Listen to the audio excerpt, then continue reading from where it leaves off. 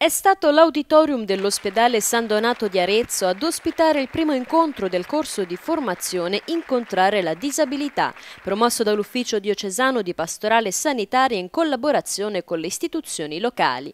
Un corso di formazione ma anche di informazione rivolto a professionisti, volontari e familiari che quotidianamente si confrontano con il mondo della disabilità. Tra i relatori di questo primo incontro anche il giornalista e scrittore Claudio Imprudente che ha tenuto un intervento sul tema Il disabile tra potenzialità e limiti tra bisogni e diritti. Affetto fin dalla nascita da tetraparesi spastica, Claudio comunica con l'ausilio di una tavoletta di plexiglass trasparente dove sono impresse le lettere dell'alfabeto.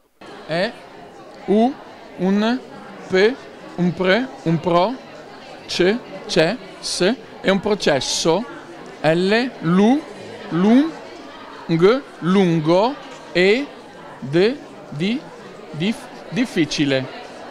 Che c'è cer, certo che ca no certo che che che che ci s so n ci sono s ste sta sta stati de de dei pe pa dei passi i in avanti. Imprudente paragone il tema della disabilità alla storia delle persone di colore che fino a due secoli fa erano in schiavitù.